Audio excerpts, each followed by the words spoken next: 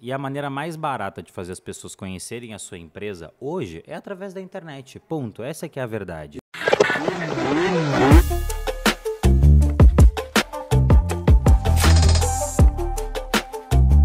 Estou aqui com o maior traficante do Brasil. Então, empreendedores e empresários obstinados por resultados, preste atenção que esse pode acelerar vai ser inesquecível, inenarrável. Estou aqui com Pedro Sobral. Daqui a pouco vai baixar a Polícia Federal aqui para levar o Pedro Sobral embora. O melhor, o maior traficante do Brasil. Pedro, queria te parabenizar por conquistar, né, o pódio, o primeiro lugar absoluto, inquestionável. Que né, isso, cara? O cara do tráfego o no cara Brasil. do tráfego. Isso aí, não confundam, não confundam. Essa piada ela nunca, ela nunca, nunca vai ficar velha, entendeu? Todo mundo fala, mas é tráfico que você trabalha? Não, tráfego, meu povo. Tráfego, tráfego de informações, anúncios online. Mas obrigado Explica- pela introdução. Explica pra galera aí, Sobral, você que, enfim, é com certeza aí um dos caras que mais entende, não só no Brasil, no mundo, sobre isso, né? Sobre é, você gerar tráfego, que na verdade são visitas para tua loja, para o teu site, para o teu Instagram, né? O que, que é esse processo, essa geração de tráfego no marketing digital? Tá, fechou. Vamos, vamos começar pelo começo. Opa, boa ideia, hein? Caramba, eu sabia, cara, o é Ele falou, eu vou chamar o cara aqui, que o cara é genial. Mas, moçada, eu vou dizer um negócio pra vocês, eu sou o rei da simplicidade. Mas é na simplicidade que você vai ver a genialidade aqui. Então começa pelo começo, por favor. Cara, tráfego são as pessoas. É um, tráfego é movimento. Se você jogar no Google, o que é tráfego? Ah, tráfego de aviões, tráfego de pessoas, movimento. É gente se movimentando. Hoje em dia, tráfego virou um sinônimo de pessoas na internet, porque é o movimento de pessoas na internet. A pessoa tá no Instagram, daí ela pesquisa alguma coisa no Google, ela entra num site, vai pro Facebook, vai pro YouTube. Então o tráfego é o movimento de pessoas. O que que acontece? A gente tem duas maneiras da gente aparecer na frente desse movimento de pessoas. Pensa numa rodovia cheia de carro passando. O que que a gente faz? A gente pode comprar um outdoor para sua empresa, para sua marca aparecer naquele outdoor e você aparecer na frente da rodovia, na frente do tráfego de carros, você vai aparecer naquele outdoor. Na internet tem duas maneiras da gente fazer isso. A primeira é de graça, organicamente. Você posta, faz uma headline, bota essa carinha bonita que o Marcos tem na frente de um post pro Instagram, pro Zuckerberg e fala assim: "Caraca, vou entregar o Marcos porque pô, o Marcos agora tá tá bombado, tá fortão, tá bonito. Ele tá aqui, ele tá falando pra mim que ele não consegue se olhar na frente do espelho sem se elogiar, que a autoestima dele tá muito alta". Vocês viram que o Sobral é um cara extremamente coerente com a realidade, né? Além de genialidade, ele tem essa alta coerência com a realidade. Parabéns. Simplicidade e coerência são minhas Isso habilidades. aí, é isso aí. sensacional, Sobral. Aí o que acontece? Então a gente tem o tráfego orgânico, que é quando eu não pago para aparecer na frente das pessoas.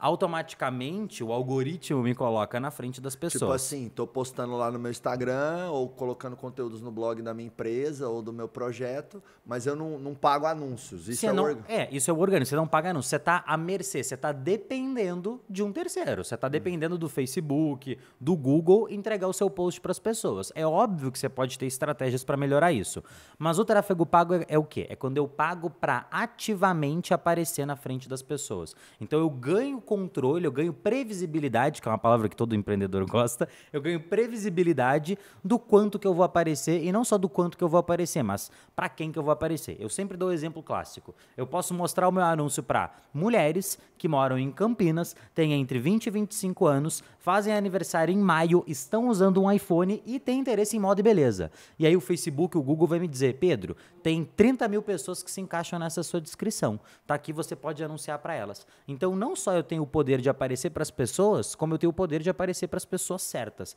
Essa é que é a grande genialidade dos anúncios Legal, online legal. hoje. Acho que é um dos grandes poderes aí dos anúncios online, do, do tráfego online, é o poder da segmentação. Exatamente, né, exatamente. Você acha que toda, todo tipo de empresa consegue segmentar para o seu público? Cara, é só você pensar, o seu cliente, ele tá na internet? E a resposta sempre vai ser sim, tá todo mundo conectado o tempo inteiro. Anunciar sempre foi... aque- Qual que é o melhor lugar para você fazer o anúncio? Não, não interessa a época que você Onde existe. está o seu público? Onde está o seu público? E digo mais, para onde o seu público está olhando. Por que, que antes talvez era melhor anunciar no rádio do que anunciar em outros lugares? Porque estava todo mundo escutando rádio. Se amanhã todo mundo. Tem tem gente que me pergunta, Pedro, e se amanhã as pessoas pararem de acessar a internet e começarem a só escutar rádio? Eu falo, cara, nós vamos botar os anúncios no rádio, porque vai ser o melhor lugar para você fazer os anúncios. É onde as pessoas estão ouvindo e para onde elas estão olhando. E hoje em dia está todo mundo olhando para o celular o tempo inteiro. Então esse é o melhor lugar para você fazer É, anúncios. Inclusive, às vezes eu tô no aeroporto, na rodoviária, E você para pra reparar, E né? eu paro pra reparar. É louco, não é louco? Todo não, não, mundo não, tá- não. Cara, é bizarro. 80, é bizarro, 90% é das pessoas estão com a cara no celular. É, e o seu cliente também. Inclusive, às vezes, no restaurante, tá? Eu e a Lilica ali jantando,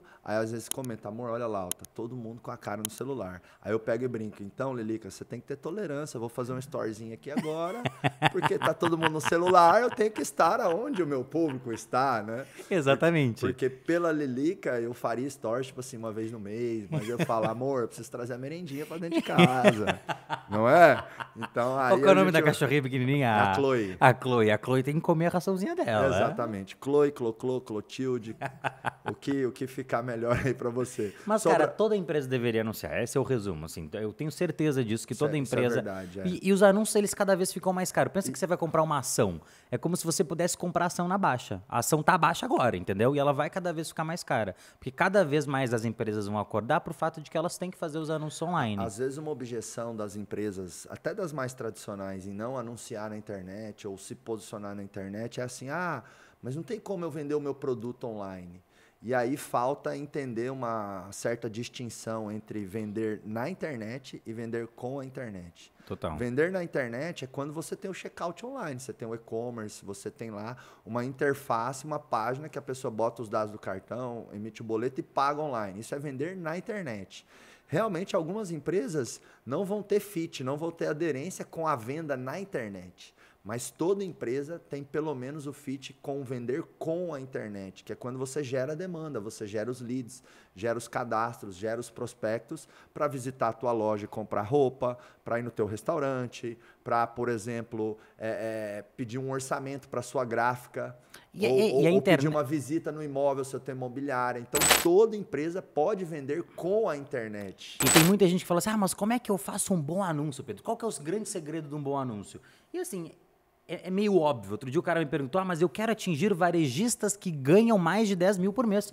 Como que eu faço para atingir esses caras? Porque quando eu vou lá procurar os interesses, eu acho só o interesse varejo. Não tem lá varejistas que ganham mais de 10 mil por mês. E às vezes tudo que você tem que fazer é muito simples. É você falar no seu anúncio com quem você quer falar. Então é só você falar, cara, Estou procurando varejistas que ganham mais de 10 mil por mês. Se você é um deles, eu tenho um convite para te fazer, eu tenho um recado para te dar. Cara, eu vou estar fazendo um congresso, sei lá, online, vou estar tem um e-book aqui que eu estou disponibilizando para você, vou fazer uma consultoria do seu negócio, tudo que você precisa se cadastrar aqui na minha página. Meu time vai entrar em contato com você para ver se XYZ. Então, às vezes é muito mais fácil da gente atingir o público certo do que a gente imagina. As pessoas elas ficam overthinking, elas ficam pensando demais em como fazer e acabam ficando paralisadas por ficar com esses, ah, mas se eu fizer desse jeito, se eu fizer desse jeito, se eu fizer desse jeito. E às vezes tudo que você tem que fazer é vencer o que eu chamo de linha do cagaço, né? Que é a linha do medo. Passa por cima da linha Bo- do Bota o que eu falo, eu chamo de fraudão psicológico. até, até uma vez, uma vez eu fiz um, re- um Reels. Fraldão, coisa é muito bom. Uma vez eu fiz um Reels que eu literalmente pus um fraldão, a fralda geriátrica, geriátrica, sabe? Falei alto, tá com medo, vai com medo mesmo. Se cagar, você tá com o fraldão tal. E explodiu esse meu Reels, entendeu? Mas aí eu fui sofisticando meu posicionamento, meu Aí eu brand, tirei fora esse sou Reels, um cara é. mais premium e tal. E aí eu tirei o Reels. Eu pagaria pra ver esse Reels. eu- Eu, eu pagaria eu- fácil. E assim, a minha equipe, com razão, não deixa eu colocar o Reels. Então, quem viu, viu. Quem não viu, não viu. Mas realmente, às vezes, as pessoas. Fiquem só com essa ima- imagem na sua imaginação agora do É. fraldão geriátrico. é que muitas vezes as pessoas elas querem começar algo no negócio com a melhor estratégia, ou com a estratégia perfeita, ou uma estratégia certeira. E às vezes, antes de acertar, você vai errar um pouquinho. Não, não, com certeza. E, e o legal é que com o tráfego pago na internet, você consegue testar com pouco, né, Pedro? Não, é, cara, é muito Você barato. precisa de rios de dinheiro para É testar. muito barato. Em E eu- média, assim, com 10 reais você atinge mil pessoas. E não quaisquer mil pessoas. Você atinge as pessoas certas. E eu gostei muito do que você trouxe aí, que dá clareza para quem não está nos ouvindo, nos assistindo. Ah, às vezes eu não consigo a segmentação perfeita e precisa do meu público.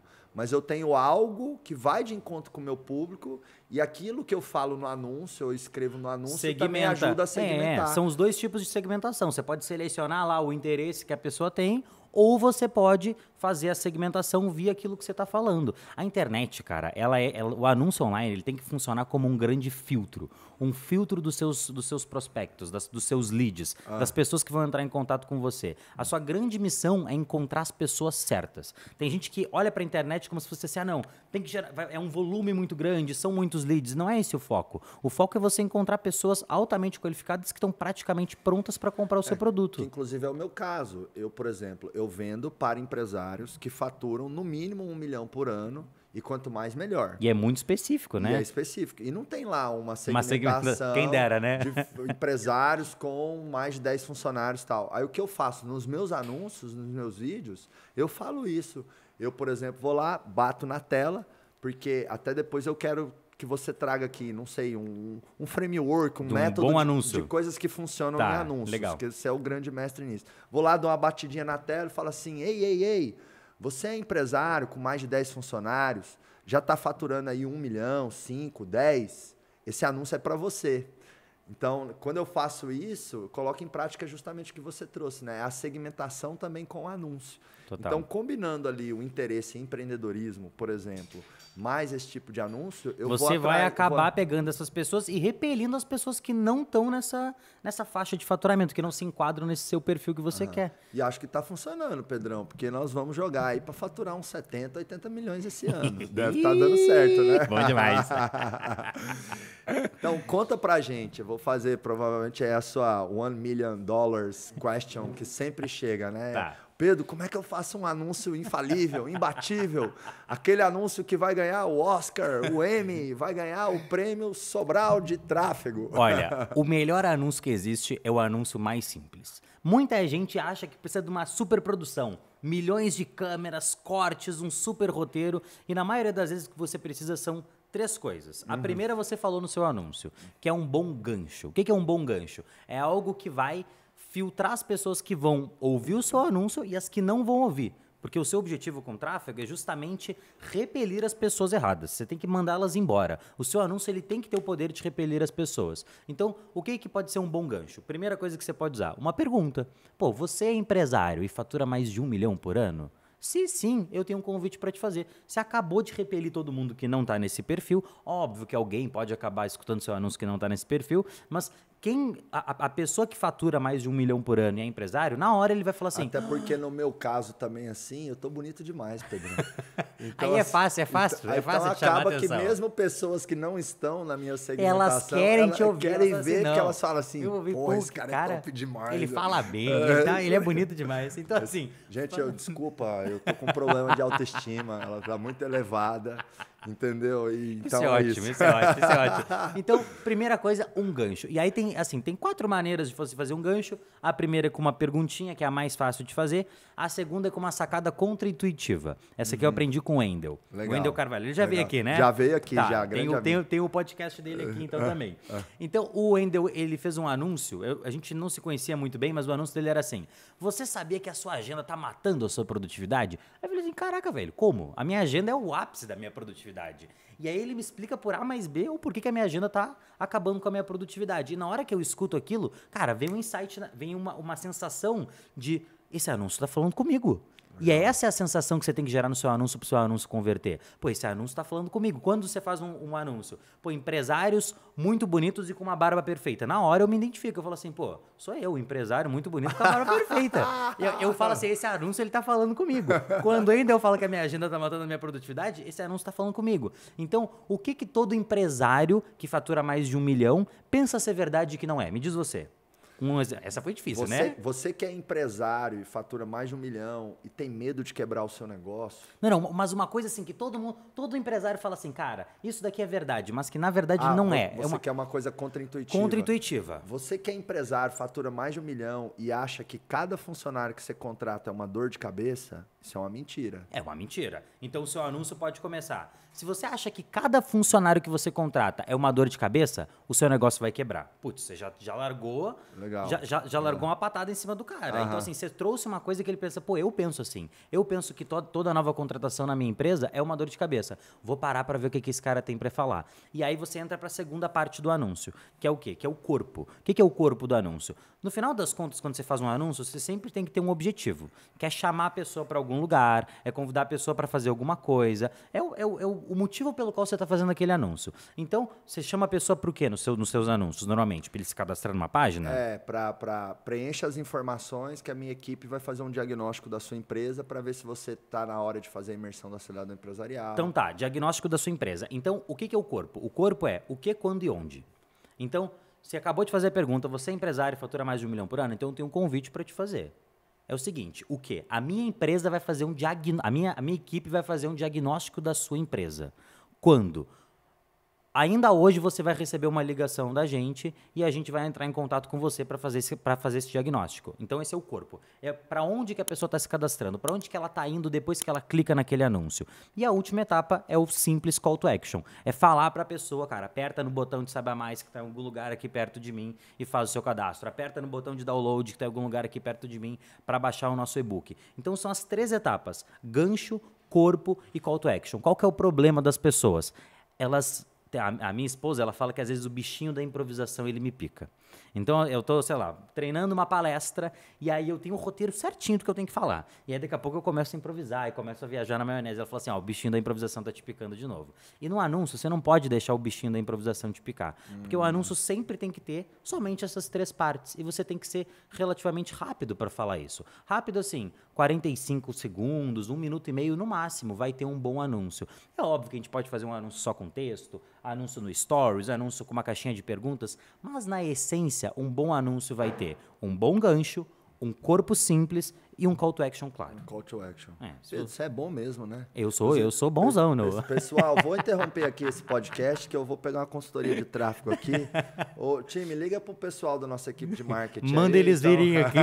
Mas, cara, sabe o um negócio? Não vou fazer isso com a, com a galera daqui do Pode Acelerar. Todo, porque... todo dia eu gravo um anúncio. Sabe, um dia um amigo meu me falou: você tem que tomar cuidado com aquilo que você faz todos os dias, porque isso é o que, te, isso é o que vai te moldar. Uhum. E aí eu escolho com muita sabedoria aquilo que eu faço todos os dias. E tem gente que acha que assim, ah, ele tá exagerando, não é que ele grava um anúncio todo dia. Não, cara, todo dia eu gravo um anúncio. Todo dia, todo dia. Se for um anúncio stories, e a maioria deles nem vão pro ar, é, mas é, é, uma prática. É o que você falou, com o celular, uma coisa simples, informal, enfim. Exatamente, porque a pessoa vai estar te assistindo na maioria das vezes na palma da, da mão dela, no uhum. celular. Então, às vezes, você bota uma estrutura muito complexa, uma câmera, uma iluminação muito boa, e você acaba mais repelindo as pessoas do que atraindo. A maioria dos meus anúncios que mais convertem são anúncios que eu gravo com a própria câmera de selfie do meu celular.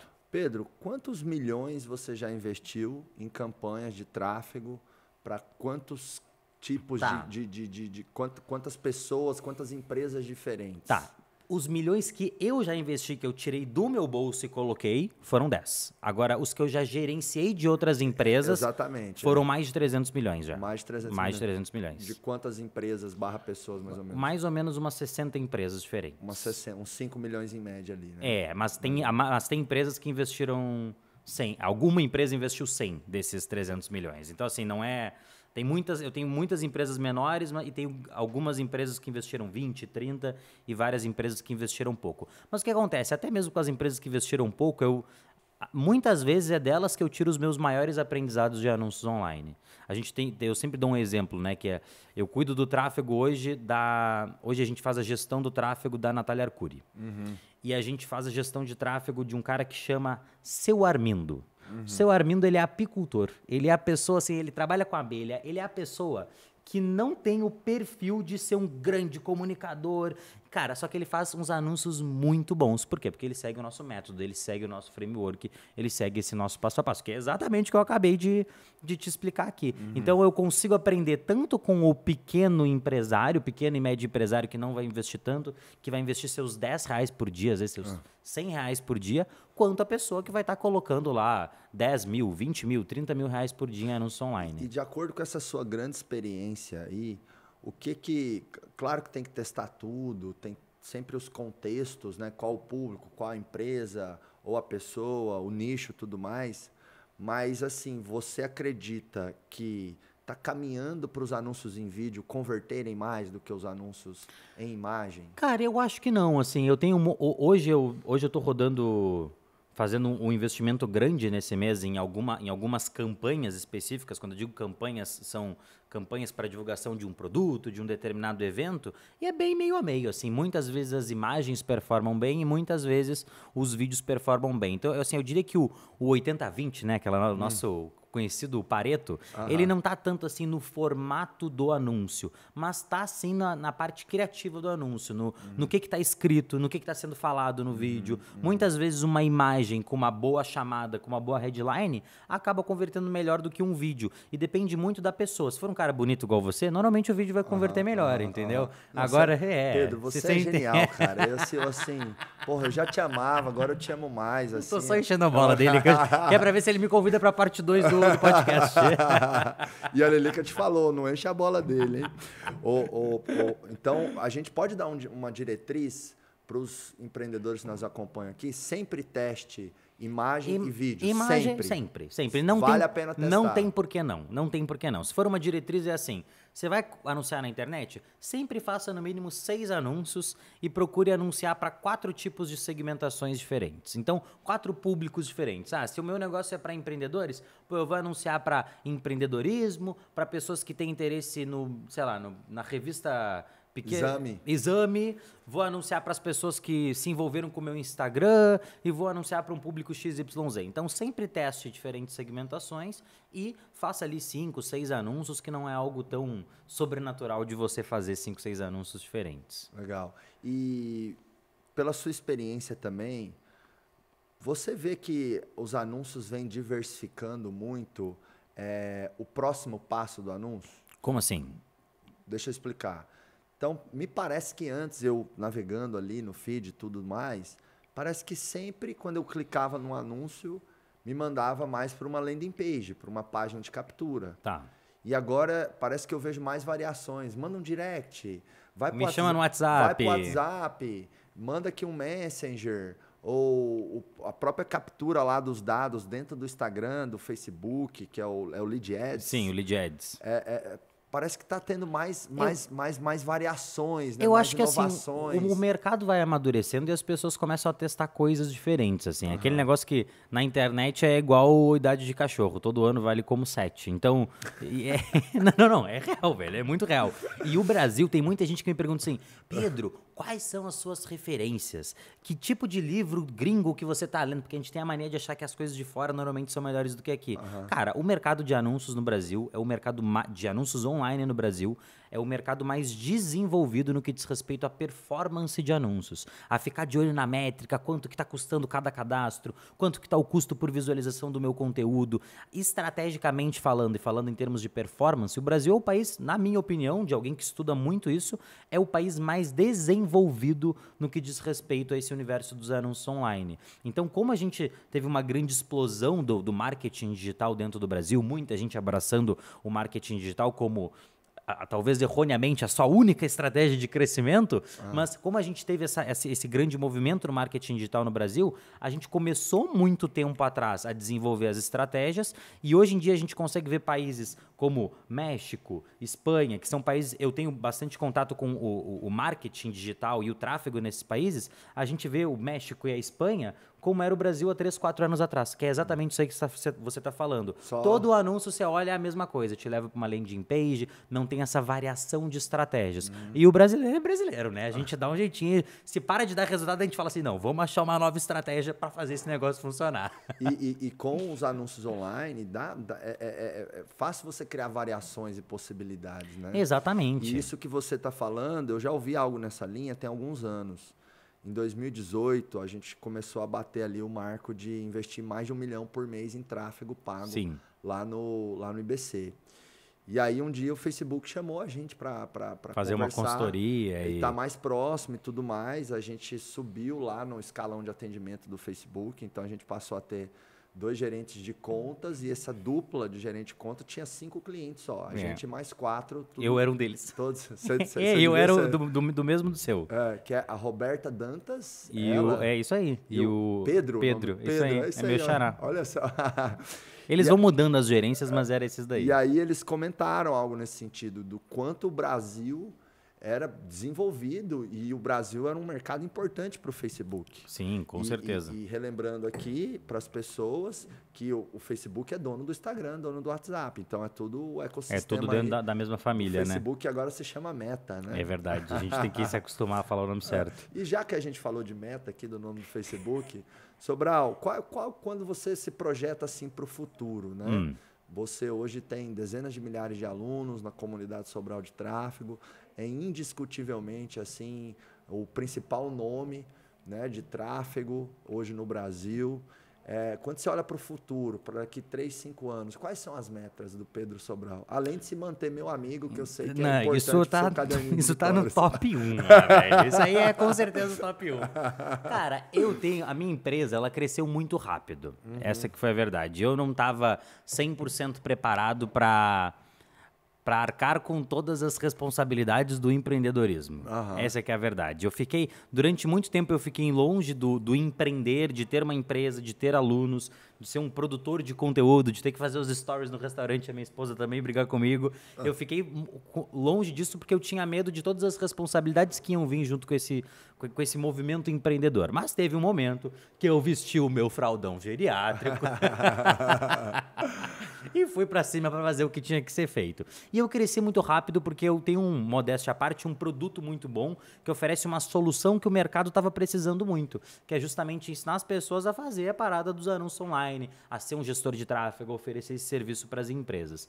E aí, como eu cresci muito rápido, eu fui contratando como eu sabia. Eu não tinha muito método, inclusive você está até me cobrando lá. E aí, qual, qual acelerador empresarial que você vai ir, Pedrão? Eu tenho até que te marcar a data lá do que eu vou. Mas como eu cresci muito rápido, eu fui contratando do jeito que eu sabia, eu fui treinando do jeito que eu sabia. Então, hoje, no momento que a gente está conversando, eu estou muito num, numa etapa de reestruturação da empresa. Pô, esse uhum. ano foi o primeiro ano, eu estou com 35. A gente tem, eu tenho dois grupos empresariais. Né? A gente tem uma holding e aí tem a, a, a, empresa que é dona da comunidade Sobral. A gente tem no total uns 90 colaboradores, uhum. tá? Diretos são 50, uhum. mas a gente está sempre com mais ou menos 90, 100 colaboradores. No grupo Sobral eu tenho 30. E esse ano foi a primeira vez na vida que eu vi o organograma da minha empresa pronto. Então, assim, oh. pô, aquela organizaçãozinha bonitinha, organograma, ah. RH contratado, para te dar orgulho essa daí. Olha só, meu tão... Deus do céu, até, até rupiei aqui agora, o meu é, coração. o cara tem. É, é, meu Deus. É. Coordenador de projetos. Tá, tá, tá uma coisa linda, tá uma coisa linda. Então, assim, eu tô fazendo essa estruturação da empresa justamente para que eu consiga crescer com consistência nos próximos cinco anos. Porque hum. eu realmente cheguei no momento ali que eu eu, eu, fui crescendo, crescendo, crescendo enlouquecidamente nos últimos quatro anos. E aí chegou, chegou no momento que eu falei assim, cara, agora eu tenho que burocratizar um pouco as coisas para hum. que eu hum. consiga crescer com mais consistência de maneira mais sustentável. Hoje a gente tem lá a comunidade com quase 40 mil alunos, então a gente tem. A gente abocanhou uma parte muito grande desse mercado Sim. de pessoas que querem aprender Inclusive, a anunciar online. Super recomendo, sempre comprei a comunidade Sobral de Tráfego para os profissionais da minha equipe de marketing que operam ali o tráfego. Show. Adorei então, o jabá. É que eu estou elogiando ele para ele fazer esse tipo de coisa. Não, mas gente, é minha obrigação aqui facilitar a vida dos empresários. Às vezes o empresário tem lá um profissional no, no, no, fazendo o tráfego dele. Ou uma agência, muitas vezes. Ou freelancer, ou uma agência e tal. Eu acho que esse empresário devia perguntar: você está lá no curso do Sobral, na comunidade Sobral de Tráfego? Porque todo mundo que é bom de tráfego está lá. É, Exatamente. É pré-requisito. É tipo assim, ah, para fazer pós-graduação tem que ter feito graduação. Para fazer tráfego. Para ser bom de tráfego, tem que estar tá na comunidade Sobral de tráfego. De Ô, edição, vocês cortam esse pedaço do que ele falou e manda para mim depois que eu vou usar isso de anúncio? Ô, Gabi, lembra de negociar o cachê depois lá com a, com a, com a Pri, a esposa de Sobral, que eu sei que é ela que manda. Ela é que manda, não, não. Eu falei que eu tive o organograma que eu estou organizando a empresa, eu estou me achando aqui, né? Eu tenho organograma. Na verdade, quem manda em tudo é a esposa, velho. É. A a Priscila que é a coordenadora da parada mas toda. Mas eu sei inverter o jogo. Como é que inverte? Os homens falam, né? Ah, quem manda lá em casa é minha mulher. Mulher que manda tal. Enfim, aqui em casa não. ah, tá bom. Aqui em casa quem manda sou eu. Ah, para. É. Vai descer aqui, vai te não, puxar pela orelha, vai te pegar pela eu orelha. Eu vou te ensinar agora pra você, como é que você vai começar a mandar lá, Priscila. Você quer aprender? Como não? mandar na sua esposa. Exatamente. Vem, vai, como, como é que é? Como inverter o jogo e parar com essa balela aí de que é a mulher que manda em casa. Não, quem manda é o homem. E eu vou te ensinar como agora. é hoje preste, que eu me separo. Preste atenção. Você vai chegar na sua esposa, você vai, vai pedir o divórcio. Você vai olhar nos olhos dela e você vai falar bem sério assim: amor, eu estou mandando você mandar em mim o resto da vida. Você nunca me desobedeça. Você tá me ouvindo? Tô falando muito sério com você, amor. Tô mandando você mandar em mim e não é pra você me desobedecer nunca mais. De maneira nenhuma. Dali pra frente, a sua esposa vai sempre mandar em você achando que ela tá mandando, mas quem tá mandando é você. Porque quando eu, quando eu cheguei aqui, o, Ma- o Marcos, ele olhou, ele olhou pra Lilica e falou assim: porque o relacionamento é feito de duas pessoas e uma sempre dá a última palavra. Não é mesmo, Lilica? Mas não faz sentido? Faz A- sentido. A mulher. faz, faz. Você inverteu. Então você... fala isso pra Sei, Priscila. Tá, não, ela nem. Que ela vai continuar mandando, mas a partir daquele momento ela tá te Tá tudo obedecendo. aqui, tá tudo aqui. Entendeu? E aí você nunca mais vai desobedecer. Como é que a gente chegou nesse assunto, pelo amor de Deus? Alguém me explica. É, Quando senta dois amigos pra conversar, são umas patotas também, né? Ô, Sobral, como é que você desenvolveu uma, uma risada, uma gargalhada tão Cara, gostosa? eu não sei, velho. É, nasci assim. Mas, ó, rir é um hábito, velho. Eu juro pra você. É uma coisa, isso é, é- é bobo isso, mas tem gente que não ri, velho. É e eu, eu dou risada de qualquer coisa. E tem gente que fala assim, nossa, você ri muito fácil, às vezes parece até que é fake. Eu falo, cara, às vezes eu até me forço a rir, mas quando vê, eu tô, eu tô feliz, eu tô com um sorriso no rosto, eu tô dando risada. legal. E aí você se torna uma pessoa mais, mais alegre. Mais E- leve, E mais eu gosto que gostosa, as né? pessoas me vejam assim, entendeu? Aham. Tipo, o Sobral, você tá com ele, ele é sempre alto astral, energia boa, tá sempre dando risada. E é um hábito, um hábito que você vai criando. O hábito, até felicidade pode ser um hábito na sua vida, Concordo, acho que tudo, tudo, tudo é condicionamento ali, né? Tem- né? É, total. Por exemplo, teve gente que se condicionou a achar que não dá para anunciar na internet, não dá para ter uma agência, um profissional de tráfego, enfim, assumiu aquilo como uma verdade. E aí eu, eu, eu, eu, assim, digo, sabe, veementemente, cara, tá deixando dinheiro na mesa. Eu, é, é- é- cada vez mais as empresas têm que explorar a internet, os anúncios online, seja para vender na internet, converter, pagar online, faz o cliente pagar online, Ou para vender com, com a a internet. internet. Ou seja, gera demanda É que- para tua equipe comercial, para tua loja. É muito tudo mais fácil de vender para quem já conhece a sua empresa do que para quem não conhece. E a maneira mais barata de fazer as pessoas conhecerem a sua empresa hoje é através da internet. Ponto. Essa que é a verdade. E provavelmente distribuindo conteúdo, É, né? então assim, fazendo as empresas conhecerem a, a sua marca. E às vezes tem que falar assim, ah, mas pô, eu- a minha empresa não tem alguém para aparecer na frente, para aparecer num podcast e falar alguma coisa. Mas pô, a sua empresa ela tem uma cultura, ela tem, ela nasceu de algum lugar, ela tem, ela tem um porquê, ela tem os seus funcionários, ela às vezes tem uma sede, às vezes não tem, mas toda empresa tem aquilo que você pode mostrar para fazer as pessoas se conectarem com a Sim, sua empresa, sim. conhecer a sua empresa e falar assim, caraca, eu conheço aquela A empresa. empresa pode declarar alguns embaixadores. Exatamente. Eu sou sócio de uma startup que se chama Nectar CRM. E é uma, é uma empresa de tecnologia que está em Goiânia. Nós estamos com 50 colaboradores e é um software para fazer gestão de equipes de vendas. Legal. E aí lá na Nectar, por exemplo, temos o, o- o Eduardo, que é ali o head de vendas e marketing, e ele aparece muito no Instagram da Nectar, dando conteúdo, falando, mostrando bastidores, fazendo webinário. Então, assim, porque o CNPJ ele é uma coisa estática, mas todo CNPJ tem o seu CPF Por trás, trabalhando ali. exatamente. Você até fala isso, né? Que não tem CNPJ forte. Como é que é que você fala? Não tem CNPJ forte com CPF, CPF fraco. Pô, Sobral me acompanha no Oh, Instagram. claro, meu querido. rapaz, Seus anúncios estão funcionando. Vou ligar pro meu diretor comercial aqui. Vinícius, aumentar o ticket do acelerador em 5 mil reais amanhã. O Como assim? Por quê? Sobral tá o Sobral acabou de falar que me acompanha aqui, meu conteúdo no Instagram. Até citou uma frasezinha. Você viu? Não. Se tua frasezinha é porque é de verdade. É, é legal, legal. Não, mas isso eu vou me gabar. Meu conteúdo gratuito é muito bom mesmo. Tem uma galera que eu admiro muito e sou fã e me acompanha, inclusive você. Claro, claro. E, enfim, um monte de gente legal. Agora, você está demorando muito pra ir no acelerador, hein, Sobral? É você tá verdade, mais né? enrolado que o Thiago Brunet, do que o Wendel Carvalho, que já Eles já foi. foram? Já foi. Você tá mais enrolado que o Janguier Diniz, cara. O cara é bilionário, o cara tem 14 mil funcionários, ele já foi lá no acelerador empresarial, você já não Eu sou um você cara muito ocupado. Como é que é o nome daqueles Paranauê que você faz com o corpo lá, que você fica de cabeça pra baixo? Como é que é aquilo lá? Cara, eu, eu Ah, quando eu tinha 18 anos, Ah. eu deixei de ter dinheiro pra ir na academia. Eu gostava de malhar, e aí eu parei de ter dinheiro pra ir na academia. E aí eu Ah. comecei a usar de desculpa que eu não tinha dinheiro pra malhar. Aham. Que eu tava novo lá, faculdade, essa vida de estudante. E aí eu comecei a praticar uma- um esporte que chama calistenia, que é exercício com o peso do próprio corpo.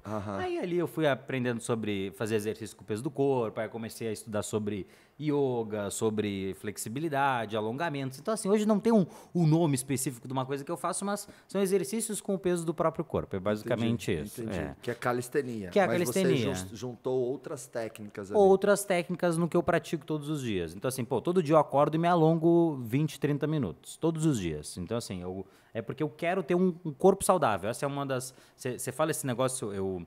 Eu sempre lembro dessa sua frase do não tem CNPJ forte com CPF fraco, porque isso é uma das coisas que eu mais acredito na face da terra. assim. Eu lembro que a primeira vez que eu fui contratado na vida para trabalhar para alguém, foi pro Mairo Vergara, eu, eu lembro da sensação, uma virada de chave da minha cabeça de que eu pensava assim, caraca, o Mairo me paga para eu ir na academia, para eu me alimentar bem, para eu ser uma pessoa melhor. Porque se eu sou uma pessoa melhor, eu sou um funcionário melhor, eu vou entregar mais resultado para ele. E se eu sou uma pessoa melhor, se eu sou um empresário, uma, uma pessoa, um CPF melhor, a minha empresa também vai ser melhor. Então eu sempre foco em, pô, quero ser uma pessoa mais saudável. O que, que vai me fazer ser mais saudável? Tem gente, pô, você é um cara que tá tá forte, você tá grande. O Wendel também, o Wendel é mó grandão, entendeu? Ele fala assim, pô, pra mim ser mais saudável é, é isso, é ter esse, essa, esse corpo dessa estética. Pra mim é outro caminho, mas aí a gente tem que. a gente pode se degladiar horas aqui falando do que, que é ser mais saudável, mas no final acho que o que importa é, é a busca. É, é a busca, é que talvez é um conceito muito particular. Particular, isso sucesso, é, né? O muito su- individual. O sucesso vai ter as suas nuances para cada um. No seu caso é ficar de cabeça para baixo, com as É, perninhas exata- assim. Não, mas No até quando eu vou- é jogar um tênisinho. Quando eu vou minha- quando eu vou falar com a minha nutricionista, ela fala assim: "O que que você quer?" Eu falo assim: "Cara, eu quero ter, ter mais força com o peso do meu corpo". Eu não falei: "Se você me botar pra comer um monte, e eu pesar 10 quilos a mais, pô, eu vou ter que ficar muito mais forte pra ter força com o meu corpo, porque uma coisa é eu, eu peso 75, outra coisa é se eu pesasse 90. Ia ser muito mais difícil Não, de fazer. vamos até abrir um parênteses aqui nesse nosso papo de, de tráfego e tudo mais, para chamar a, a- a atenção dos empresários que nos acompanham aqui, porque é uma pergunta que eu recebo até com certa frequência na caixinha dos stories, Hum. Que eu, não- eu não consigo dar uma resposta assim específica. Talvez Tá. você consiga me ajudar.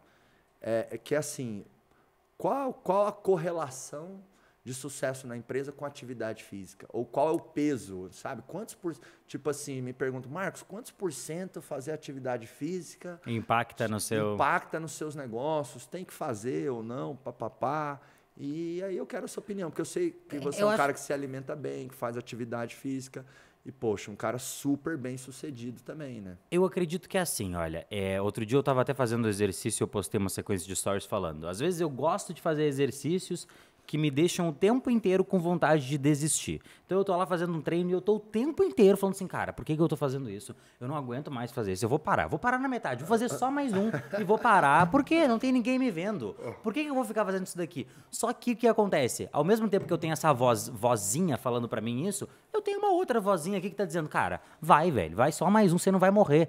Vai, encara, encara, encara. E aí eu tô, quando eu tô fazendo exercício, eu tô treinando essa vozinha que diz pra eu dar mais um passo. E pô, empreender não é uma coisa fácil, cara. Não é super gostosinho, não é, não são só, não é só o empreender não é o todinho gelado, como eu tenho um amigo meu que fala. Empreender tem um, um monte de dificuldades, muito mais do que se fosse muitas vezes do que se você fosse funcionário de uma empresa. Então, constantemente você vai precisar dessa vozinha te dizendo, cara, vai, você tem que fazer, faz o que tem que ser feito. Então, em primeiro lugar, para mim, fazer exercício é sobre treinar essa voz que diz para você Legal. seguir em frente. E em segundo lugar, assim, cara, você você está trabalhando por quê? Qual que, eu, eu sei que muitas empresas têm um, um porquê de, pô, quero transformar o mundo assim, quero transformar as pessoas, quero. é, vo- você, ah, eu tô cheio das suas frases, Aí, velho. vai Eu lá, tô, mais um, mais eu tô cheio das suas frases. eu vou aumentar o acelerador mais 5 mil. que, que uma nota fiscal é uma troca de energia. Quando você tá. Não é? Que quando você tá vendendo, o que, que você tá fazendo? É uma troca de energia. Pô, você tá Exatamente. trazendo uma melhora na vida das pessoas. Isso é verdade, total. Só que, ao mesmo tempo, a gente também não pode esquecer que, pô, você empreende para ter uma vida melhor. Eu Sim. comecei a empreender para ter uma vida melhor, para ter dinheiro para viajar, para ter uma casa legal, para ter um estúdio legal para fazer um podcast, co- Hum. convidar um amigo para conversar junto comigo. Então, assim, quando, como que você vai aproveitar isso se você não tem um corpo que é saudável? Para mim, essa é a grande questão. Qual que é a correlação? Cara, correlação é, se o seu corpo é saudável, você vai aproveitar mais tempo. Eu sempre falo que eu vou viver até os 140. E toda. Eu tenho 26 anos e eu sempre escuto, cara, você só faz isso porque você tem 26 anos. Você só faz isso porque você tem 15 anos. Você só faz isso porque você tem 16, 17, 18. Eu passei a minha vida inteira escutando isso. E eu juro pra você, um dos meus objetivos de vida é ter 70 anos e alguém me olhar e falar assim: você só faz isso porque você tem 70.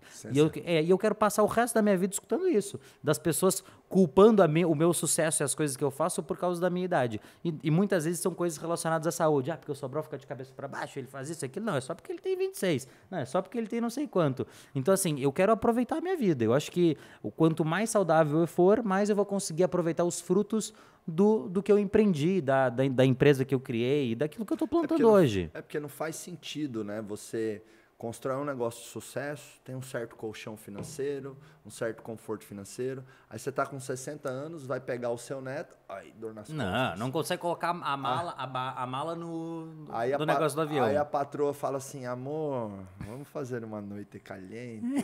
Aí você, ai meu coração. Ai, meu coração, não tô aguentando. Sabe? Não faz sentido. Não, não faz, cara. faz- E é- é- é um- é um- você tem que ter um desenho muito claro na sua mente do que, que é sucesso pra você. E no seu desenho de sucesso tem que ter, ter uma vida, tem que estar nesse desenho ter uma vida saudável. Não tem como não estar, nosso, entendeu? Nosso corpo, ele, ele, ele, é, ele, de certa forma, é o nosso templo, né? É, com E certeza. cuidar bem desse E templo. você performa melhor, cara. Não tem, não, não, não Total. existe. Ó, eu- meu, eu- meu humor hoje é melhor.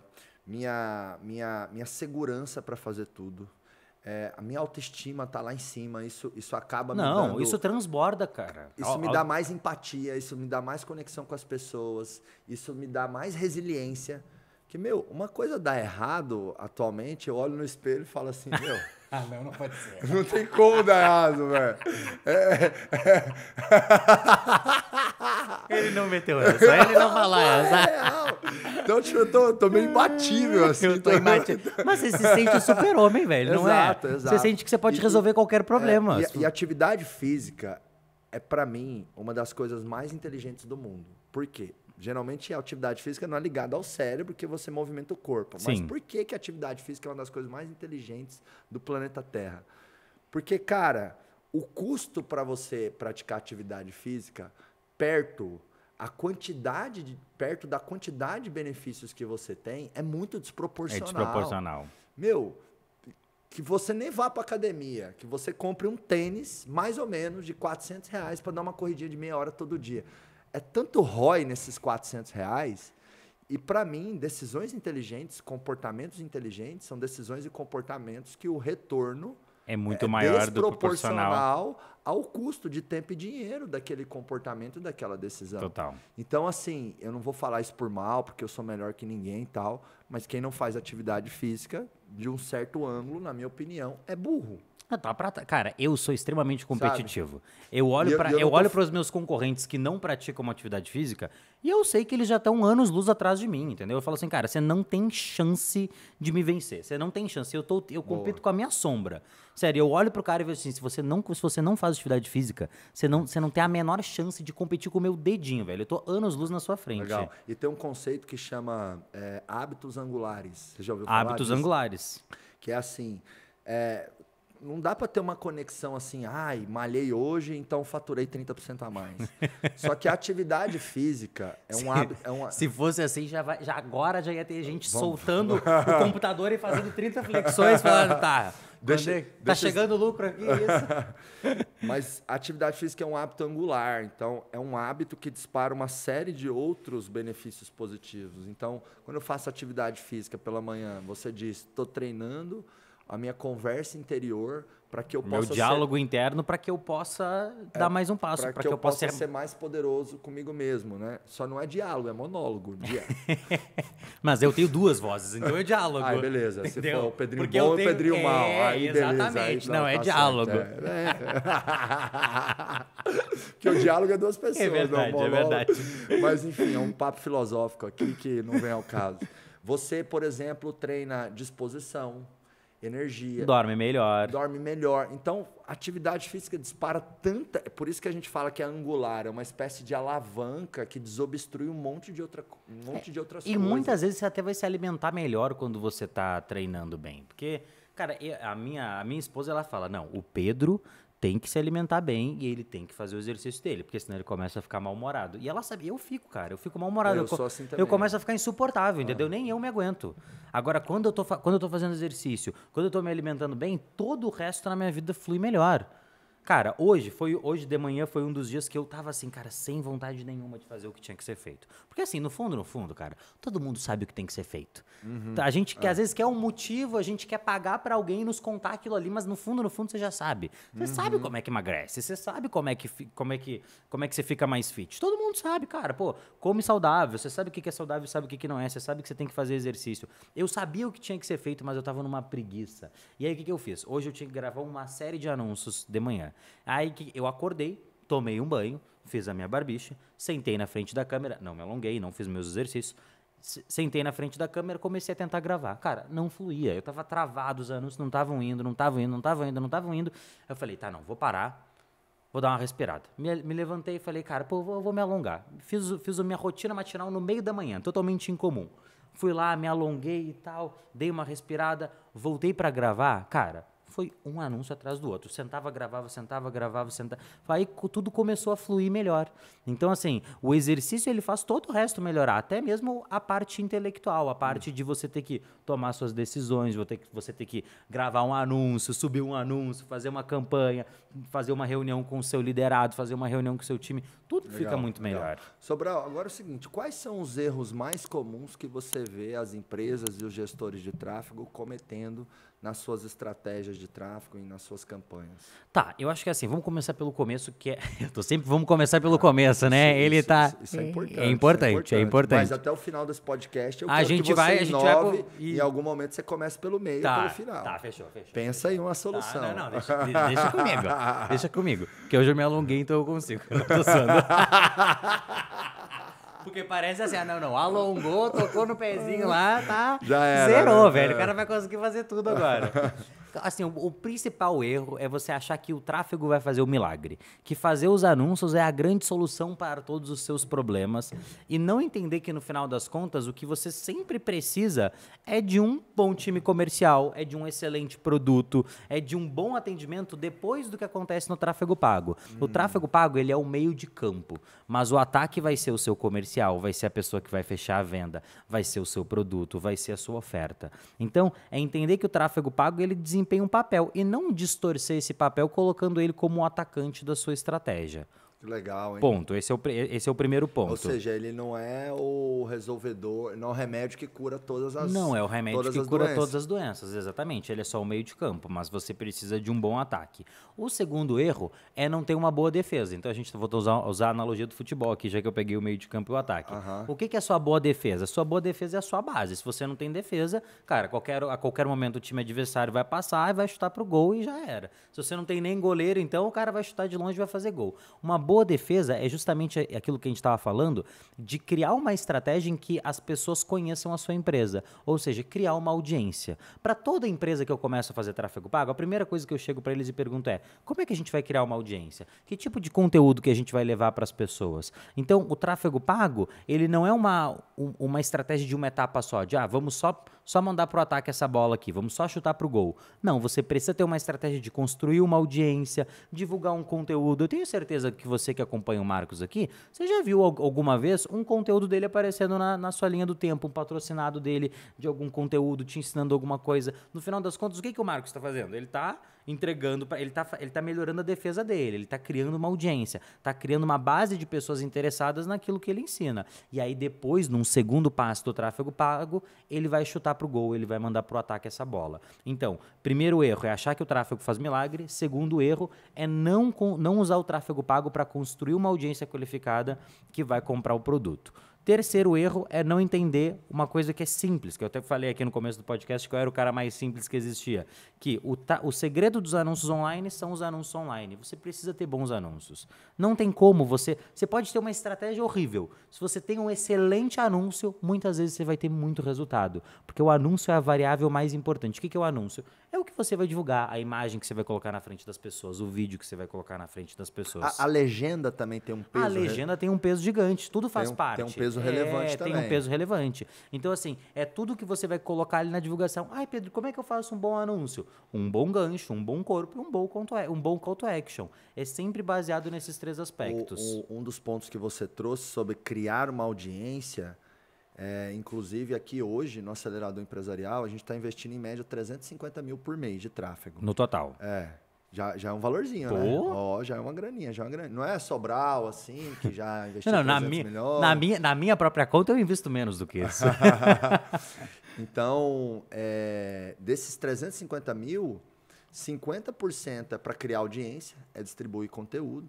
Então, é a, é a masterclass, a gente pega os O- o- vídeos, os conteúdos que mais performam, impulsiona, promove. Se- E os outros 50% é para gerar leads para a equipe comercial. Para eles converterem no telefone. É, e e a gente- muitas vezes gera leads das pessoas que consumiram os conteúdos. Total, a gente só gera lead para quem consumir os nossos conteúdos. E volta no que eu falei, que o tráfego ele não deixa de ser um grande filtro. E aí é aí que as pessoas se perdem. Quando você está fazendo um conteúdo e você está divulgando ele, na verdade você está filtrando uma audiência. Você está pegando um bolo de gente e você está filtrando, porque só um pedaço daquela audiência vai consumir o seu conteúdo. E aí você pegou esse pedaço que consome o seu conteúdo e aí você, beleza, essa, essa galera ela é mais qualificada e essa é a galera que eu vou mandar para o meu comercial. E, e é o que eu vejo que mais falta nas empresas, ô Pedrão, principalmente as empresas que querem fazer o, o que eu chamo de inside sales. O que o mercado chama de inside sales, que é esse. Eu, eu criei um termo que eu chamo de funil mar vendas. Tá, Que é a integração de marketing e vendas. tá. É, porque eu realmente não sei onde um termina e o outro começa, ou onde um, co- começa E o outro termina. Tem que estar muito alinhada essa passagem de bastão de marketing e vendas. E aí, nessa estratégia Mar Vendas, que é o Inside Sales, que você tem o marketing digital, que gera lead, passa a bola para a equipe comercial, é, eu vejo que o erro mais clássico das empresas é, de fato, não criarem audiência, que ir direto, ah, não, vamos gerar lead para a equipe comercial. Mas se você não tem público, se as pessoas não consumiram conteúdo, você vai gerar um lead frio. Você vai- às vezes até um Aí você vai, sim, você vai trazer uma tonelada de trabalho, às vezes até mais barato, mas você vai trazer uma tonelada de trabalho para o seu comercial que não vai converter. É, só que aí às vezes os empresários, eles não têm paciência é, de ir na jornada mais adequada. Criar uma estratégia de Que é o- dois passos e não de um único Isso, passo. Que é, o- que é o resultado rápido. Ah, não, então eu contratei uma agência. E eu quero, cinco- mim, resultado é lead. E, é- E só amanhã, que, só que o que tem que mudar na mentalidade é que com o tráfego pago, você não só compra o lead. Você pode comprar, por exemplo, uma visualização até o final de um vídeo. Cara, eu divulgo aulas de uma hora e meia, duas horas com tráfego pago. Essas aulas que eu divulgo, muitas vezes eu pago três, dois, três reais para alguém ver uma aula de uma hora e meia, duas horas até o final. Uma aula onde eu estou ensinando sobre anúncio online. Pô, esse cara é o cara que ele tá morrendo de vontade de aprender aquele assunto. Esse é muito mais fácil eu gastar dois, três reais para fazer essa pessoa ver o, o vídeo até o final e depois mandar ele pro meu comercial do que eu gastar 100 reais tentando encontrar esse cara no meio de um mar de gente. Então a estratégia de dois passos de, pô, cria uma audiência qualificada através de um bom conteúdo, e aí isso é importante. Quanto melhor for o conteúdo, mais qualificada vai ser a audiência que vem daquele conteúdo. Quanto mais insights aquele conteúdo trouxer, quanto mais o ouro tiver naquele conteúdo, melhor vão ser as pessoas que vão vir a partir daquele conteúdo. Exato. Divulga esse conteúdo e depois manda para um comercial, depois manda para uma página de vendas, ou até mesmo depois manda direto para um checkout, que é muitas vezes o que eu faço. Cara, a taxa de conversão ela é absurda, porque você tem uma audiência com um nível de consciência muito grande sobre o que você vende, sobre a solução que você entrega, sobre o problema que ela tem e que você resolve esse problema, e aí é só chutar pro gol. E aí eu acho que você acertou a mão na palavra, marketing de conteúdo. Esse é o grande gargalo que as empresas não têm.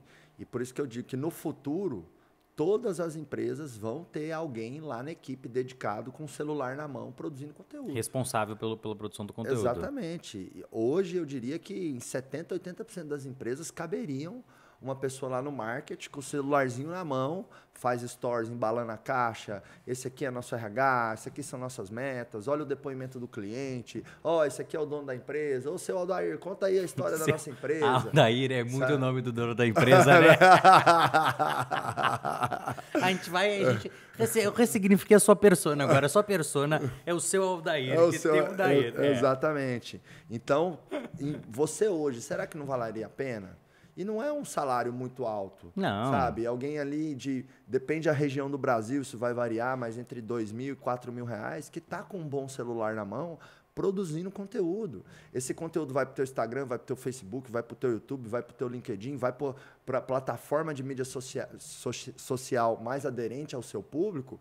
E alguns desses conteúdos também vão virar uma coisa que eu chamo de arsenal de materiais da equipe comercial. Hum. Então, toda empresa que tem uma equipe comercial tem que ter uma, um arsenal de materiais que ajuda o comercial a vender. Estou falando de depoimentos, de prints de clientes satisfeitos. Estou ah, falando legal. de PDF sobre a solução da empresa. Tem, tem empresa, Sobral, que não dá ali o mínimo de material para o vendedor vender.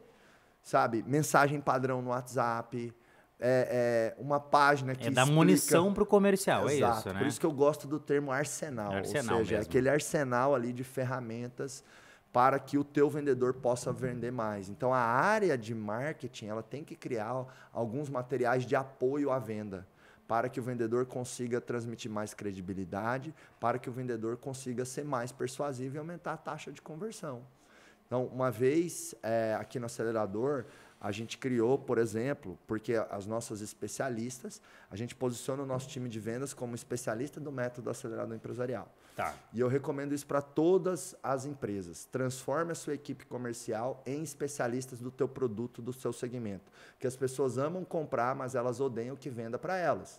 Então, quando eu chego numa concessionária, ao invés do vendedor me atender, vai ser um especialista. Um especialista da Volvo vai te atender Exatamente, agora. Já um dá outro. É, não dá um punch, é. você empodera o teu Pior, comercial. É verdade. Você vai numa farmácia de manipulação, a vendedora vai e te até, atender. E até a pessoa do comercial se sente mais, mais empoderada. Mais empoderada. E isso também traz ali uma certa, uma certa postura na equipe comercial de ser mais consultivo você não é um tirador de pedido, você é especialista. Não, e de querer entender mais sobre o produto, né? Exato. Que no final das contas é a coisa mais importante para o comercial. Exato. E hoje, muitas vezes, o cliente ele vai para um processo de compras, ele entende mais do produto ou do serviço do que o vendedor.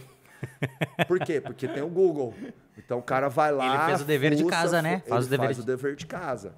Então, posicione a sua equipe como especialista no teu produto ou no teu serviço. Isso vai dar autoridade para o teu time e além disso o cliente vai perceber mais valor no relacionamento com a sua equipe comercial. Então, ah, eu tenho uma loja de roupa, especialista em moda feminina. Ou eu tenho é, um, uma indústria de papelão, ao invés de ser vendedor, sabe, é o, é o especialista de embalagens. Que legal. Ou uma então, loja de suplemento, especialista de. Vida fitness, de, enfim, hipertrofia, crescimento muscular, Legal. tudo mais. Esse aí eu poderia ser, sim, né? Porque sim, você tá. Alguém para o Marcos. Por favor. Por favor, produção socorro. É, Tira o Marcos daquele. Quando eu tô com amigos aqui que eu gosto muito, eu fico mais soltinho. Lá em Goiás, ô, ô Sobral, tem um arroz que é o arroz cristal. Arroz cristal. Aí tem ah. uma propaganda do arroz cristal que ficou famosa há muitos anos, que é assim, soltinho, soltinho como arroz cristal. Aí, Aí você tá igual arroz cristal, é isso família ou algum amigo que tá muito soltinho, você fala, você tá arroz cristal, hein? Você tá soltinho igual arroz cristal, é muito ô, boa. Ô, ô Sobral, então é muito legal a gente trazer essa consciência aqui para os empresários, né, da importância dos anúncios online. É, é, é, tem o poder do tráfego, mas ele não é não é o resultado, não é milagroso. É, Porque com se, certeza. Se você tem um produto porcaria, você Já não era. tem audiência, enfim, vai ser mais difícil ter resultado com o tráfego. Com, com, certeza. Tanto que hoje tem gente que me pergunta assim, Pedro, quais são os critérios para você atender uma empresa de uma, uma empresa, para você fazer o tráfego de uma empresa?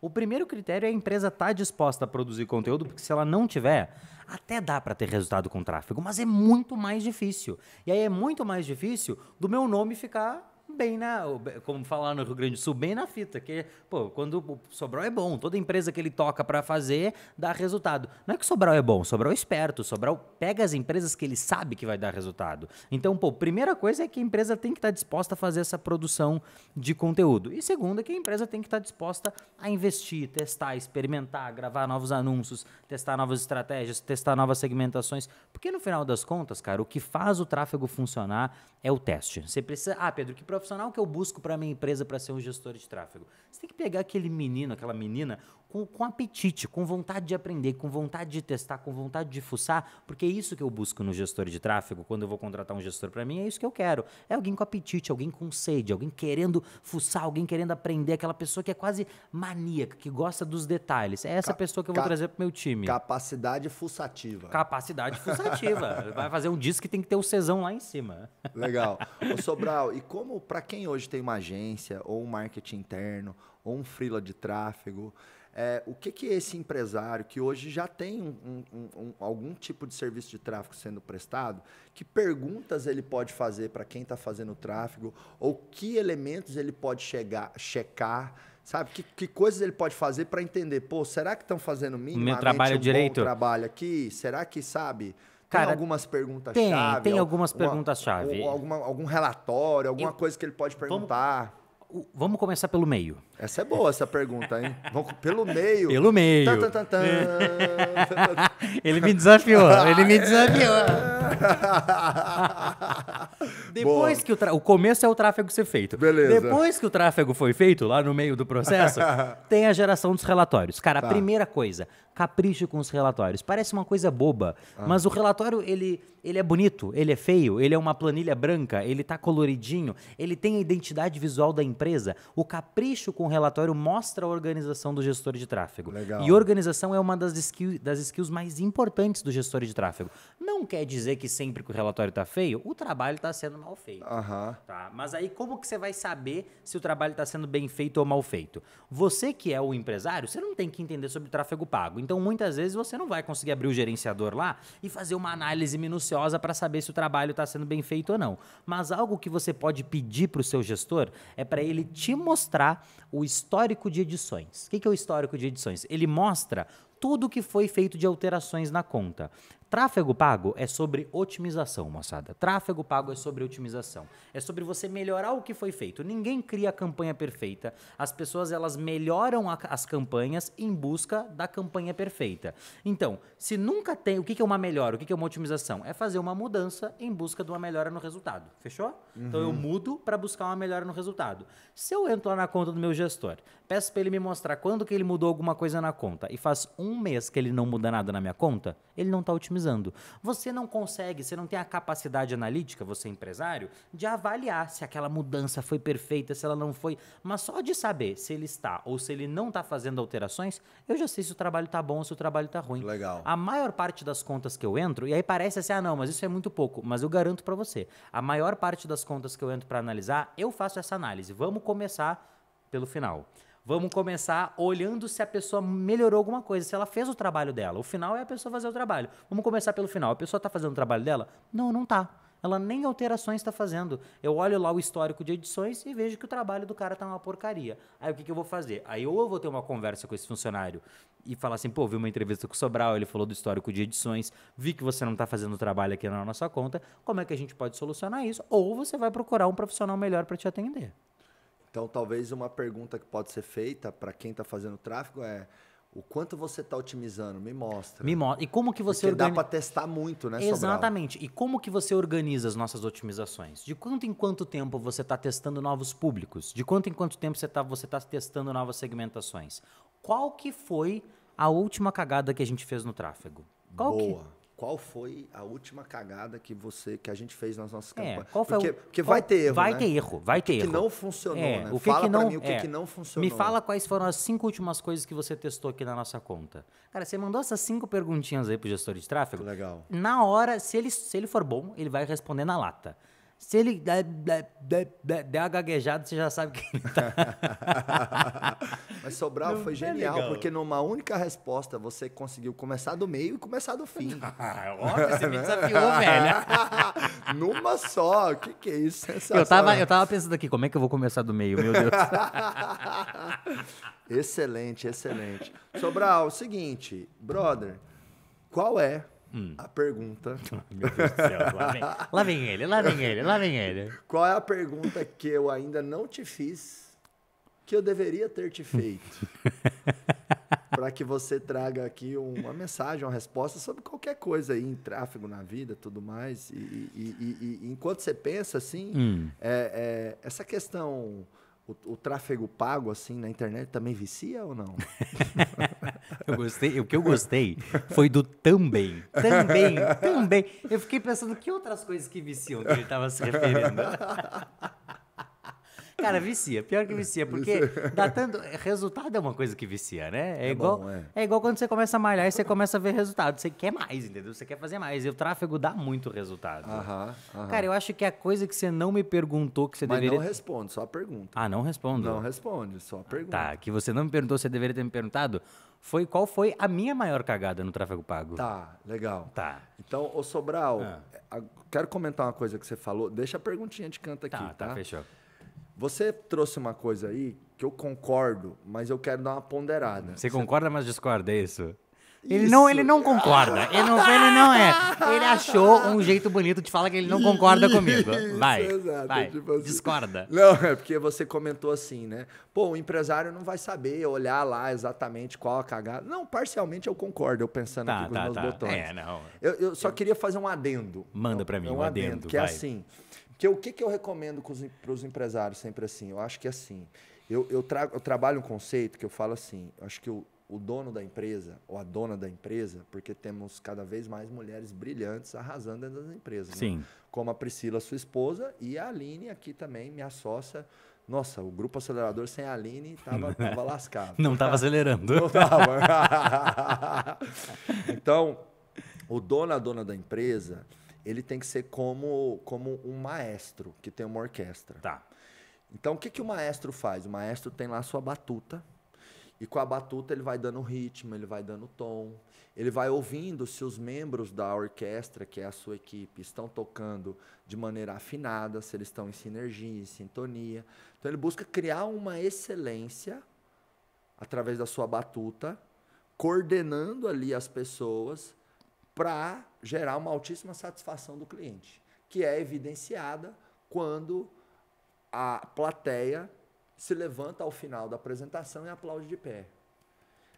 A empresa é muito igual. Você está lá com a sua batuta, você tem a sua orquestra e você tem que orquestrar processos e pessoas. Tá. Geralmente o maestro ele não sabe tocar todos os instrumentos. Qual que é o maestro mais famoso do Brasil? O maestro João Carlos. Ele é um excelente pianista, mas se você der um instrumento de sopro ou de corda, Ele ele, não não, vai sabe saber tocar. tocar. Mas apesar de não saber tocar, ele sabe ouvir se está afinado. Ele, Tá, ele, tem uma, ele tem uma ideia. Então, assim, realmente não dá para o empresário aprender a apertar os botões do tráfego. Mas eu acho que ele não pode fazer papel de bobo. Ele Tá. tem que saber pelo menos ouvir um pouquinho. Por isso que eu falo para os empresários, enriquece o seu repertório, pelo menos conceitualmente, pelo menos com certas referências, sobre tudo que é importante para o seu negócio. Então tá, faço o tráfego, ou quero fazer, eu quero fazer o marketing digital, não vou aprender a apertar botão. Mas quando o gestor de tráfego falar assim, Eu sei conversar com ele, é eu isso? sei né? conversar com ele, é isso. Tipo assim, então quando ele falar assim, ó, o custo por clique foi tanto, aí você, ah, o que, que é um custo por clique, sabe? Entendi. Aprende, fuça, O, A- o ABC e a pergunta até pro gestor de tráfego, né? Exato. O que, que é isso? Me explica. Então, assim, esse mínimo que é, abre aspas, saber ouvir se o instrumento está afinado ou não, o empresário tem que saber.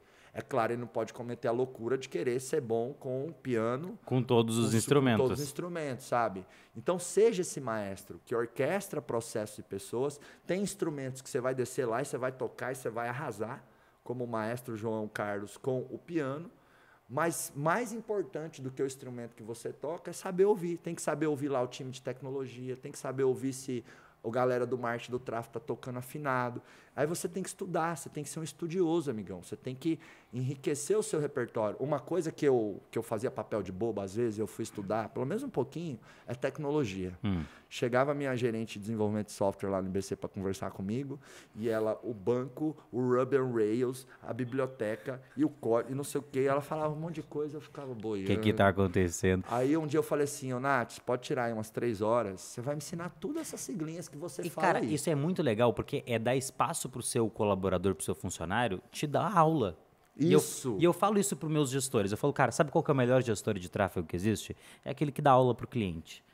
Você funcionário, você colaborador da empresa que consegue dar aula para a pessoa que você está atendendo, cara, isso aí é muito enriquecedor para os dois lados, tanto para o gestor quanto para a pessoa que vai valorizar mais o seu trabalho por entender aquilo que você faz. Uau! E essa pessoa vai conseguir também te ajudar, te gerenciar melhor. Te né? gerenciar melhor, com toda certeza. Você está dando para a pessoa habilidades, recursos e ferramentas para pedir para você, não, foca mais nisso, eu quero mais isso daqui. E aí o cliente vai ficar mais feliz porque ele vai ter mais, vai ter mais resultados que ele e o gestor de tráfego vai ficar mais feliz porque vai conseguir gerar mais resultados e vai ser mais reconhecido pelo trabalho que ele está fazendo. Vou, vou, criar uma diretriz, vou criar uma frase de impacto. Vamos, cima, manda, é agora. que você é agora. falou. O bom colaborador de verdade dá aula sobre aquilo que ele exerce na sua função. É isso. É isso aí. que, que é? Sensacional, Sobral. Essa foi, essa foi um collab. Cê, essa foi... Você tem que voltar, você tem que voltar. Vou criar uma máquina do tempo só para passar um ano mais rápido para fazer sentido para você voltar, né? tá, Porque a, a, gente repete os convidados assim de, de, de, ano em ano, né? Perfeito. Mas, Sobral, me veio agora uma iluminação divina aqui. Hum. Algo profundo, de cima, de dentro, de baixo, 360, que é uma, a seguinte pergunta. Ah.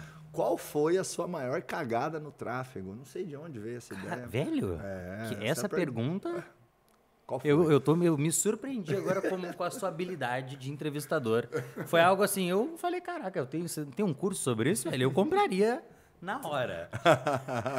é o cafezinho comenta aqui. Antes. Cara, a minha maior cagada no tráfego foi não ter colocado meu, meu fraldão geriátrico antes e ter assumido o meu papel como empreendedor e ter começado a ensinar tráfego para as pessoas antes. Por quê? Uhum. Porque o momento da minha vida que eu mais aprendi tráfego foi quando eu comecei a ensinar tráfego para as pessoas. E eu deixei isso passar durante muito tempo por medo de começar a empreender, medo de lidar com as responsabilidades do, do empreendedorismo, medo de documentar minha jornada e medo das pessoas me acharem ruim. E no começo eu era ruim mesmo, porque eu estava começando, no começo da jornada a gente é ruim. Só que se eu tivesse desde o começo da minha jornada essa documentação, desde quando eu comecei, hoje a minha história ia ser muito mais legal de ser contada. Eu ia dizer, olha, eu tenho o meu vídeo da primeira vez que eu fiz tráfego pago. Olha como eu era ruim. E olha só como é que eu tô hoje, oito anos depois. Então foi de não ter começado antes a compartilhar e a ensinar tráfego pago para as outras pessoas. Acho que essa foi a, grande estalo que eu tenho do maior cagada que eu fiz no tráfego pago.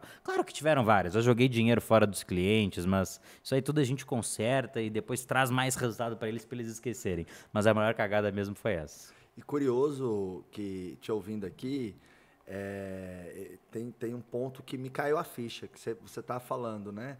A, a, a, o momento que eu mais aprendi foi quando eu comecei a ensinar. E quando eu comecei a ensinar mais gestão, liderança, processo, indicadores tal, enfim, eu percebi que eu melhorei muito usando aquilo que eu... Que você mesmo ensinava. Exato. Não, porque, com certeza. Porque o meu nível de, de, de exigência comigo Como... aumentou. Porque como é que você vai ensinar um negócio que você não está implementando? Exato. E aí você vê você ensinando uma coisa numa aula e você fala assim, caraca, mas eu não estou fazendo isso daqui na minha empresa. Aí você fala assim, nossa, eu tenho que começar a fazer isso. Isso. Tem que ter mais coerência. Mais coerência. Um exemplo é. disso é... Poxa, o acelerado empresarial, o CNPJ, tem, tem cinco anos de vida mais ou menos. Uhum. Mas eu considero que ele tem dois anos. Por quê? É até meio confuso isso, né? Tá. Como assim, cinco, você considera que é dois? É Benjamin Button, né? É, eu concordo, mas discordo. Tem cinco, mas tem dois. É, Vamos começar pelo final. Pô, é. mas, mas, você é inteligente, Pedrão. Você sacou o meu jeitinho ali de discordar de maneira elegante. Vai, né? vai, Não adorei. precisava ter comentado. Adorei, não. Ah, eu tô aqui para ser esse comentarista. esse é meu papel nesse podcast. É assim, o, se puxar lá no, no cartão CNPJ, tem uns cinco anos. Mas Tá. por que que para mim tem dois? Porque nos, nos, nos quatro primeiros anos, nos quatro primeiros anos, eu, eu, eu dividia muito. Na verdade, o meu foco nos quatro primeiros anos de vida do acelerado empresarial era o IBC. Tá. Né, que inclusive você já foi fazer consultoria Sim, de tráfego lá no é IBC. verdade. Senhoras e senhores, 2016, 2017, o IBC foi a primeira empresa maior, a primeira empresa Uma assim, grande, grande- que contratou a consultoria de tráfego do Sobral. Sobral foi lá, passou uns dois dias com o meu time de tráfego. A partir daquele momento ali, direto eu chamava ele lá, pagava ali a consultoria high ticket dele. Sempre que eu pagava, eu pensava assim, caraca, uma grana. Aí quando ele saía de lá, eu, porra, barato. Que essa é a sacada, né? Que inclusive é a minha sacada. Nossa, isso é muito bom, velho. Isso é muito bom. Não, o empresário faz o Pix pra gente pra vir pra acelerador empresarial, dói nele que ele fala assim, meu Deus do céu. Passaram a faca, me acabou. Aí Mas sa- ele tem que sair de lá com a sensação ele do. sai da imersão falando, meu, valeu duas vezes mais, três vezes Que mais, legal. tá barato, enfim. Tanto é que a gente vem subindo muito o ticket da imersão.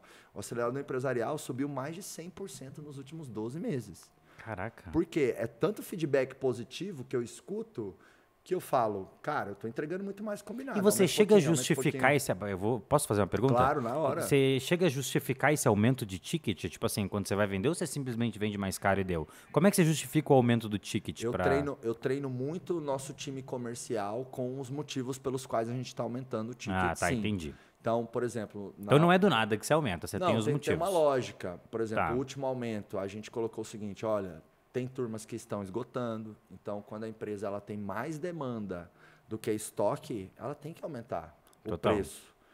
Um outro motivo é a gente melhora cada turma da imersão. Então tem o, o método hoje está muito mais afinado, muito mais evoluído. E realmente cada turma da imersão para mim é como se fosse uma versão da imersão. Então agora é segunda-feira agora começa mais uma turma, que é a turma 30. Para mim é a versão 30 do produto. Então o produto vem evoluindo. É uma oferta crescente, que toda vez que você vende ele, está melhor do que era anteriormente. Isso. Inclusive, nós estamos tendo de umas cinco turmas para cá, toda turma, um, dois, três alunos que fez o acelerador há dois, três, quatro anos atrás, Tá voltando. tá voltando e não tem desconto, porque a palavra desconto aqui pra gente, nosso posicionamento, é o capeta, entendeu? A gente não dá desconto nem fudendo.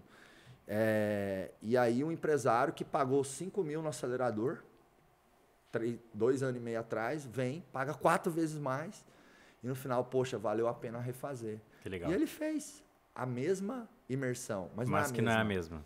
Então, o Marcos evoluiu muito. E hoje, o que acontece, né? Por que, que essa história aqui tem cinco anos, mas para mim é dois? Porque nos quatro primeiros anos, eu tinha o IBC. Eu era sócio do meu pai no IBC. E 90% do meu tempo, do meu foco profissional, era no, no, no No IBC. crescimento do IBC. Então, pra você ter uma ideia, de 2016 a 2020, eu fiz nove turmas do Acelerado Empresarial. De 2016 até o final de 2000 e... Até o final de 2020, que foi o primeiro ano da pandemia. Sim. Novembro de 2020, eu fiz a turma 9, a turma 10 do Acelerado Empresarial. Então, ó, quatro anos e um pouquinho para fazer 10 turmas. E agora, De novembro de 2020 para abril de 2022, que dá uns 15 meses, eu fiz 20 turmas. Então, eu considero que o volume de horas enquanto empreendedor que eu coloquei no acelerado empresarial com intensidade é de dois anos, dois anos e meio. sim. E, e- e a gente cresceu muito rápido. Então, a empresa era praticamente ali eu, a Aline e três colaboradores, quatro colaboradores, há pouco mais de um ano. Nós estamos chegando a 70 pessoas na equipe agora Do acelerador. do acelerador empresarial, somente da empresa de educação, do acelerador empresarial. E aí a gente tem um RH já super maduro, com três pessoas no time. A gente está rodando agora uma pesquisa de clima do Great Place to Work para a gente ranquear como uma das melhores empresas para se trabalhar do Brasil. Então a gente tem práticas de gestão muito avançadas. Por quê? Porque aqui na minha empresa não vai ser aquela história, ah, casa de ferreiro, espeto, Espeto de, de pau. pau. Pelo contrário. Tem casa de ser- ferreiro, espeto do. O espeto que, tipo assim, O melhor- caraca. o melhor esse- espeto que esse existe. espeto é uma obra de arte. Que isso? Esse ferro vem da lua, é o É melhor. o fe- espeto épico, como diria o Wendel. Exato. Então, eu não sei, até tem. Boa. Casa de Ferreira, Espeto, espeto é. Espeto épico. Ah, o Sobral é muito bom. E aí. É que tudo você consegue zoar com o termo épico do é, Wendel. é verdade, é, épico, é épico. Grande beijo aí, ó. Wendel Carvalho. Tamo junto, papito. Tamo junto. E aí, eu, talvez eu tenho que até pesquisar para Great, que é uma organização global que avalia a satisfação dos colaboradores, dentro colaboradores. das empresas. Mas provavelmente ali, sabe, considerando dois anos, dois anos e meio, eu acho que nunca, nunca uma empresa certificou no GPTW tão rápido. Ah, que, que legal. Vai, que vai de encontro com aquilo que você falou. Quando você ensina, você se sente mais obrigado a colocar em prática aquilo que você ensina. Você tende a ser mais coerente entre o que você fala e o que E você, que você faz. faz. É. Então, quando eu comecei, eu sempre fui bom de gestão e liderança, mas quando eu comecei a ensinar, e uma coisa que eu tenho orgulho, que tem a ver com você também, né? Eu passei uns 15 anos da minha trajetória empreendedora empreendendo sem nunca ter a pretensão de abrir a boca para ensinar. Sim. Então, primeiro eu masterizei realmente assim gestão, liderança, e eu não tinha pretensão, ah, vou fazer um curso aqui na Dom Cabral, vou fazer mais um MBA e tal, porque um dia eu vou ensinar. Não, eu, eu fazia aquilo ali para aplicar nos negócios. Total, simplesmente para fazer, né? Exato, que é o seu caso. Você, É. porra, O- você operou muito tráfego É, antes de começar a o ensinar. Taleb fala, o Taleb tem aquele livro lá do Antifrágil, que é o livro para pessoas muito inteligentes. Não sou eu. aham. Mas ele tem é uma, é, mas, mas ele tem uma frase muito boa no Mas livro. ainda bem que tem os resumos dos livros Não. que a gente pode ler, né? É,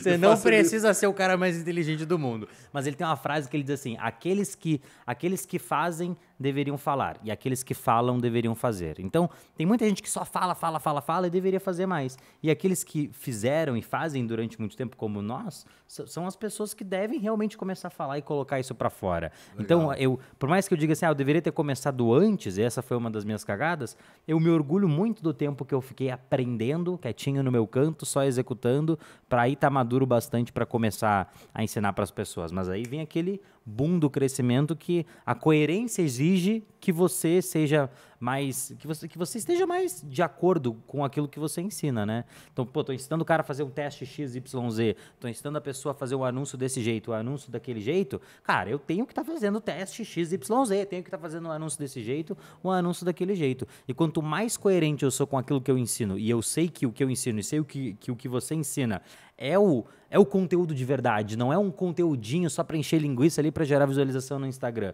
Quando eu vejo que o que eu estou ensinando não está sendo implementado, é só uma questão de implementar o que eu mesmo ensino para eu ver mais resultados surgindo nas minhas contas. É, existe uma diferença entre conhecimento teórico e conhecimento tácito. O conhecimento tácito, ele vem da, da vida real, do mundo real, do dia a dia. O conhecimento teórico é eu, por exemplo, ir lá, ler a central do Facebook, que tem muita coisa legal, Muita. e ministrar uma aula. Beleza, Exatamente. vai dar um resultado. Agora, quando o Sobral leu a central, apertou botões, milhares e que milhares aconteceu. de e viu o que aconteceu, o Sobral tem um conhecimento tácito. Ele tem uma coisa que vem da É a experiência. malícia, né? É, isso, é, o É. joguinho de cintura, É. sagacidade. É aquela que fala, você pode ter os MBA, os mestrados, doutorado, mas uma coisa é você ter as manhas. É ter as manhas. Tem é que ter- manjar dos Paranauê. Tem que manjar dos Paranauê, não foi conhecimento tácito. O que coisa? Ah, os Paranauê, é isso. Sobral, bate bola rápido aqui agora, tá? Eu pergunto, você responde rapidão. Meu Deus do céu. um livro. É, factfulness. Fact o quê? Factfulness, é cheio de fatos, é cheio de informações. É o livro que eu tô lendo agora. Olha o, o cara des- descredibilizando as minhas palavras inteligentes. eu pergunto um livro, olha a resposta dele. Factfulness. É o livro que eu tô lendo eu, agora. tipo- Por isso que eu lembrei. Beleza. Um filme. É, Escritores da Liberdade. Deus, Existe? família, Tudo. grande sonho. Filhos.